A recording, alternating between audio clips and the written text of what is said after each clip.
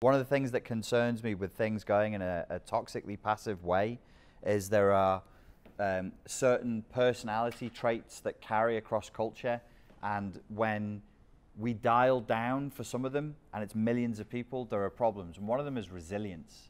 Like people's resilience has gotten shit. Resilience is your capacity to deal with stress, your capacity to thrive in adverse conditions, and your mental toughness, generally speaking, is resilience. A toxically passive, consumeristic, pleasure seeking, immediate gratification culture, obviously, one of the first things that is going to go down is going to be resilience. People have asked me whether social media generates narcissistic personality disorder, and I would say probably not, no. But there is a constellation of traits that if you move up and down like a, a mixing board uh, on a sound mixer, people are going to look and function as though they have narcissistic personality disorder. Low levels of resilience, low impulse control, a lack of ability to enforce your will on the world or on yourself. Um, these are highly narcissistic and psychopathic traits. When it's affecting a whole culture of people and we move in a certain direction, that's when it becomes dangerous. I hope I don't sound like a middle aged curmudgeon when I keep going on about boundaries and respect. I really hope I'm not turning into my grandfather. It's that, from my point of view, boundaries protect us from each other on a daily basis. Being well mannered protects you from me and me from you. I might not be in a very good mood, but manners and good boundaries let me know that just because I'm not feeling good doesn't mean I don't have respect for you. I'm just in a low state right now. Does that make sense? That's why I keep coming back to these, uh, these things.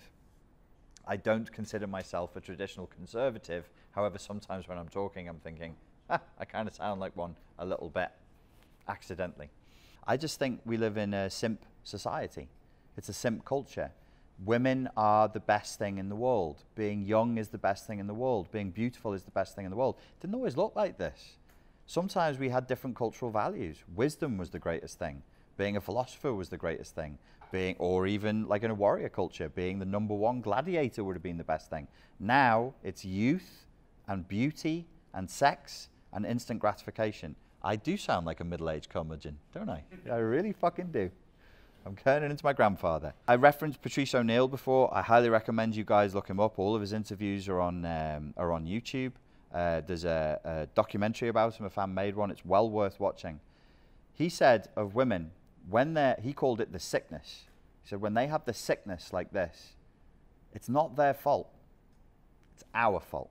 We make them sick. Simps make them sick. And every fucking man has simped at some point. We all simp.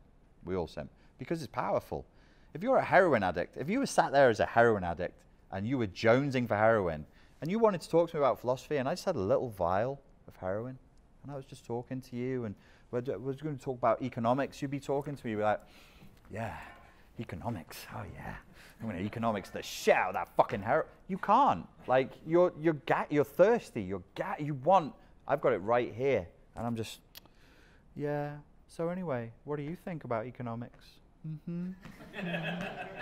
I'll be on Instagram with my vial, like, oh, oh, you can see my vial. No, stop. Why are you looking at it, you pervert? Why are you looking? You know, it's it's it's a stupid, but it, it, it infantilizes them. Then they act like dumb teenagers, and they don't grow out of that dumb teenage attention-seeking uh, mindset.